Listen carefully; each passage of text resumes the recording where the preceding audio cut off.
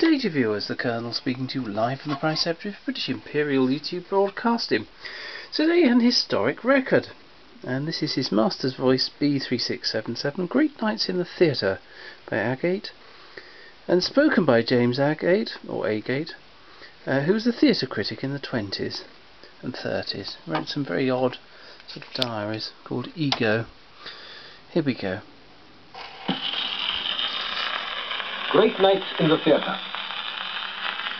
I should like to have been standing in the pit of a little wooden theatre on that night 300 and more years ago when Macbeth first came with the daggers from Duncan's chamber.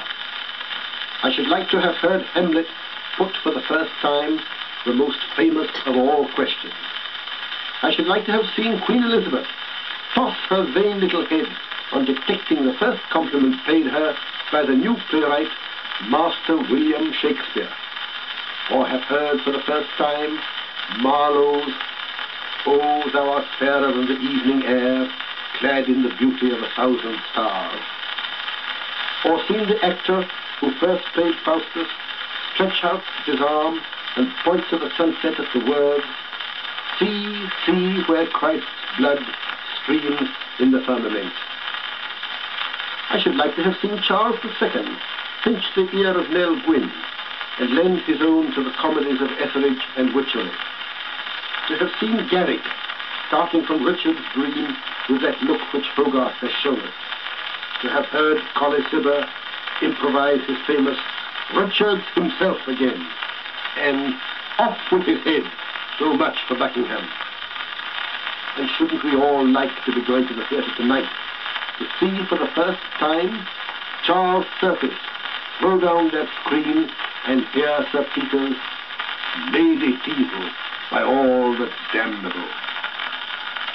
Let me take you to Drury Lane on a bitterly cold winter's day, that of January 26, 1814. There has been a rehearsal of The Merchant of Venice with a new actor in the part of Shylock, an actor who is undersized, pale, moody,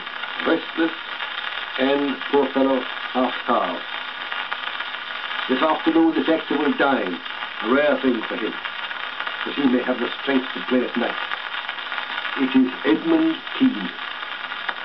I should like to have been in the house on that night when the little man who had been child acrobat, pantomimic, tightrope dancer, and animal impersonator came into his own as the greatest of English tragedians. I should like to have returned with him to his poor rooms in Cecil Street, to have seen him clasp his wife and child to his bosom, to have heard him say, Mary, you shall ride in your coach yet, and you, Charles, you shall go to Eton.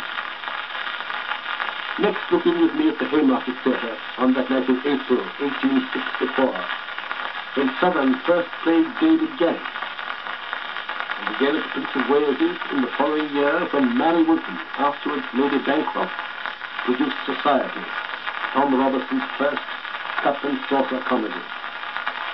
But I must be brief. I have had my great nights in the theatre.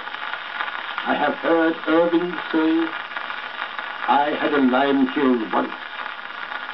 And I have seen Ellen Terry dance to Miss Beatrice's star. I have marveled at Mrs. Kendal's humor and pathos. Thirty years ago, I saw Sir Johnston Forbes Robertson Hamlet. Yesterday, I saw Jean Forbes Robertson Jr. Who would not be a dramatic critic? Well, there we are, viewers. Hopefully you enjoyed that. Thank you and goodbye.